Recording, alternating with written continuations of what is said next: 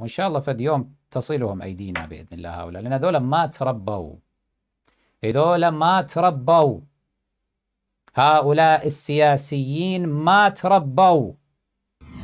هنالك قوم من مصالحهم أن يبقوا مناصرين لأبي بكر وعمر وإن كانوا في قرارة أنفسهم لا يقيمون لهما وزنا. يعني معروفون هؤلاء بعضهم في الأوساط يعني الخاصة معروفون. هو ما يعتقد أصلا بأبي بكر وعمر في الحقيقة. لكن لماذا يناصرهم في العلن لأن له مصلحة. هذا من أهل العالم الثالث مثلا. وله مثلا علاقات ببعض الأسر الحاكمة في الخليج مثلا. هذا عنده علاقات بما أدري آل الصباح. هذا عنده علاقات بآل مكتوم مثلا. نعم. آل النيان نعم. مثلا. فعنده سفرات وروحات وجيات ويكرمونه وكذا ومصالح أحيانا تتطور إلى مصالح اقتصادية يعطوهم باكيتات يعطوهم بخور أحيانا. هي مثل هذا صاحبنا مثلا.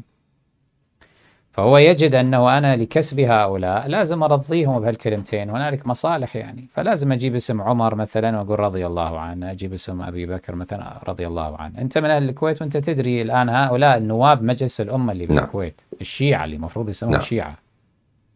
كم واحد منهم ترضى على عمر؟ كثير. يعني اللي أذي أنا أعرفه ورأيته بعيني هذه يعني بالإذاعات يعني أو بالتلفزيون نفسه يعني. أتذكر منهم عدنان عبد نعم. الصمد ممثل خامنئي في مجلس طبعاً. الكويتي. زين. ويوسف زلزلة ممثل المقبور آه، محمد حسين آه، فضل الله في مجلس مم. الكويتي.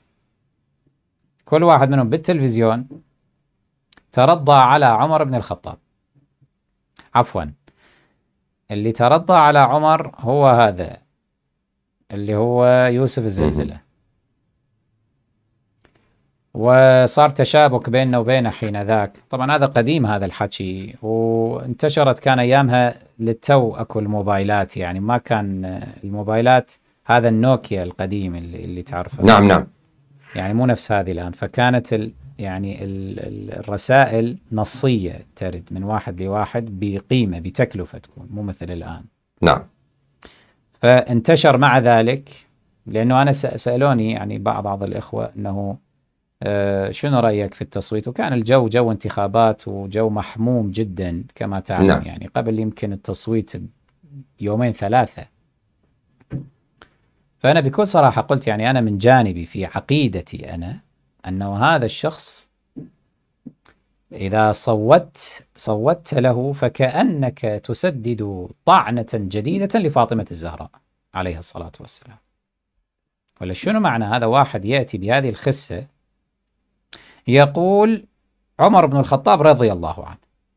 ومن دون مناسبة أيضا يعني هو جابها ما أدري شنو كان في مقابلة تلفزيونية وهو تطرق إلى عمر ومن نفسه من دون أن يسأل عنه يعني وترضى عنه كسبا لهؤلاء.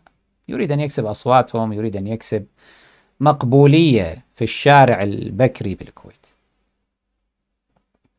فهو طبعا ثار بسبب ذلك كثيرا غضب كثيرا ورد عليه هو وجماعته تقريبا من هؤلاء ال- يعني السفهاء وشنوا حربا من حينها على هذا الموضوع وكتبوها أتذكر حتى في بعض الجرائد بالكويت يعني, يعني يتهمونني بأني ما أتذكر الآن طبيعة التهمة. لكن هو هذا إنه يعني أنا مجرم كبير ومن جرمي أني ما أتحمل آه، أن يتم التصويت لشخص آه، ترضى آه، على هذا الطاغية. وهو الحق نعم صحيح ما أتحمل. ولو بيدي لاتبعت معه سياسة النعال. وإن لم يكفي فسياسة الأرطال. لا أتحرج من ذلك إن شاء الله تعالى. وإن شاء الله فد يوم تصلهم أيدينا بإذن الله هؤلاء. لأن هذول ما تربوا. هذول ما تربوا. هؤلاء السياسيين ما تربوا. السياسي اللي يدوس على جراح الزهراء عليها السلام ويترضى عن قتلتها وقتلتها ويلمع صورهم من أجل الأصوات الانتخابية هذا يحتاج تربية بالنعال. يحتاج من الشيعة الأبرار تروح تربيه بالنعال. روحوا إلى هؤلاء السياسيين سواء في العراق في الكويت في البحرين اللي يمثلون الشيعة. روحوا ربوهم بالنعال. روحوا ثلاثة أربعة شباب لله حتى يقابلون بها الزهراء عليه السلام. روحوا لهذا يوسف زلزلة ضربوه بالنعال.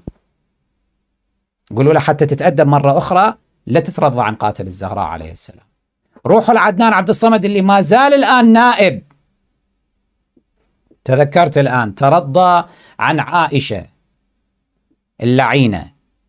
قاتلة رسول الله صلى الله عليه وآله. وترضى لماذا؟ سواله مهرجان بالشارع ما أدري شنو. رد علي أنا لما أقمت هنا مع الإخوة نعم. المؤمنين احتفالا بهلاك عدوة الله عائشة. راح وحضرة جنابة طالع ينبري للدفاع عن عائشة ويقول آه رضي الله عنها. أم المؤمنين عائشة رضي الله عنها. هذا لازم هم يتربى بالنعال. تريد تلعب سياسة؟ العب. روح. ما حد قال لك لا. أما تدوس على جراح أهل البيت ممنوع. ممنوع. هذا ما نسمح لك. أكو ناس أهل غيرة راح يتصدون لك. عندك ناس أنت ناس معتقدين بك يحبونك يروحون يصوتون لك. هذه بعد أنت يوم القيامة ما راح تستفاد منهم شيئا. أنت يوم القيامة خسرت الزهراء عليها السلام خسرت رسول الله خسرت أهل البيت صلوات الله عليهم خسرت شفاعتهم. يا أنوك! إذا تقابل الله عز وجل بهذه الفعل النكراء.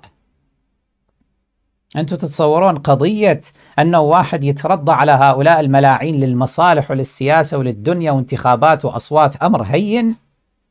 أمر هين هذا؟ فلذلك أقول جوابا على سؤالك الكريم إن مشكلتنا مع هؤلاء الهوى كالبكرية والمصالح كالبترية وأهل العالم الثالث وأهل العالم الرابع. خلصنا الله تعالى منهم جميعا وأراح الأمة من شرورهم وإضلالهم.